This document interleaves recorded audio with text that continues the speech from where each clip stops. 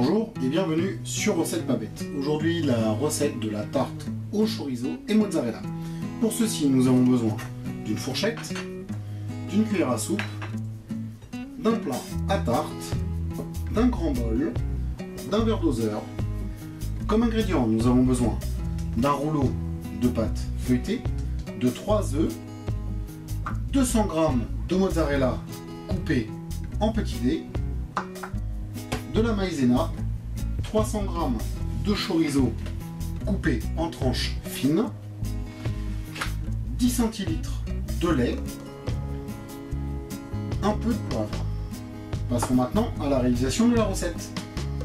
Pour commencer, on va prendre notre grand bol, nos œufs, on va les casser et les mettre en entier dans notre bol. Par-dessus nos œufs, on va ajouter 2 cuillères à soupe de maïzena.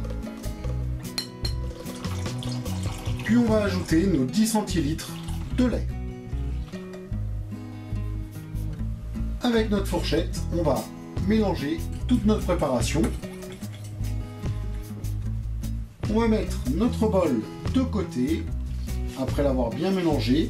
Puis on va ouvrir notre rouleau de pâte feuilletée on va aussi en profiter pour mettre notre four à préchauffer à 200 degrés.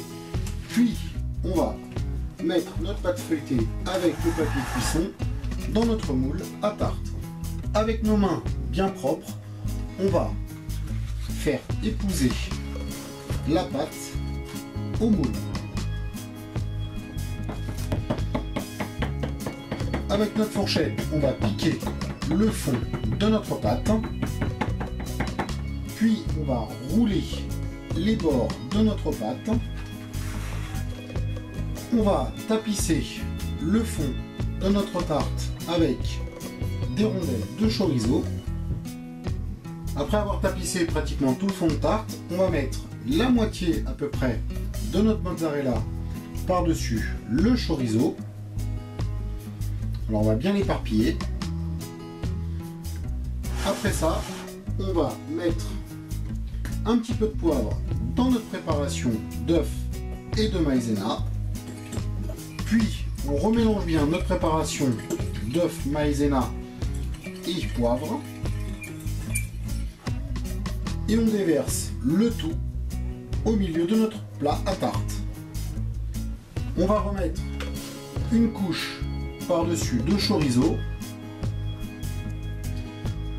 On va ajouter notre dernière moitié de mozzarella par-dessus notre chorizo. Puis on va enfourner notre tarte au four à 200 degrés durant 35 minutes, 40 minutes. Après le temps de cuisson, notre tarte au chorizo et à la mozzarella est prête. Si vous avez aimé la vidéo, merci de mettre un petit j'aime à cette vidéo. N'oubliez pas de vous abonner à notre chaîne tous les commentaires sont les bienvenus. Sur ce, bon appétit et à bientôt sur Recette Pavette.